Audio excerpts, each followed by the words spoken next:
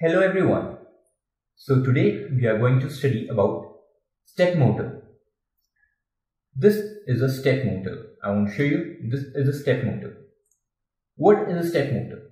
Step motor is an electromechanical device which converts electrical current into a mechanical work. We can say electrical power into a mechanical power.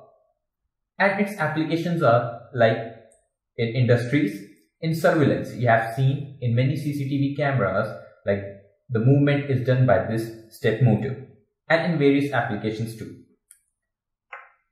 Next, we move to UNL 203 driver, which help us to connect the step motor to the Arduino. This is our Arduino. We need some jumper cables and the power cord to control to connect the Arduino to your PCs or your desktops. Now let's move to the connection part.